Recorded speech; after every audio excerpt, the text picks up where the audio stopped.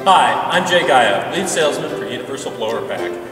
A couple of years ago, one of our longtime OEMs came to us for a very specific, customized unit for the oil and gas industry.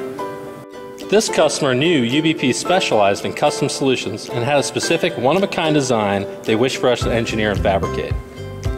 The design consisted of three 150 horsepower aeration blowers and two 30 horsepower air scour blowers.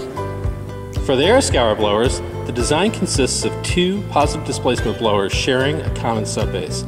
In order to minimize work for the contractor, the OEM requested a common header be factory installed to cut down on work in the field. Steel grating covers the exposed surface area to minimize potential slips and falls.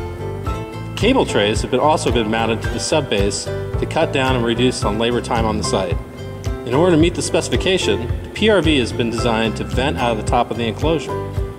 The end user expressed concerns over corrosion and requested the enclosures be fabricated with 3 16 stainless steel.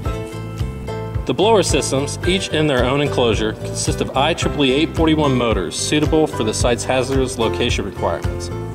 The motors are coupled to the blower with a Falk Steelflex drive coupling, giving the end user 100% control over the blower while utilizing a VFD.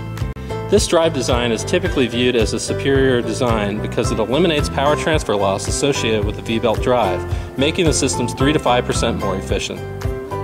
The coupling also cuts down on maintenance time and costs as there are no longer V-belts to tension or replace.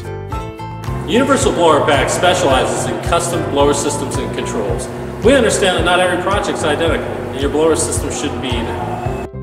Give us a call the next time you have a specific need for your project. We'll be happy to design the perfect blower solution for you.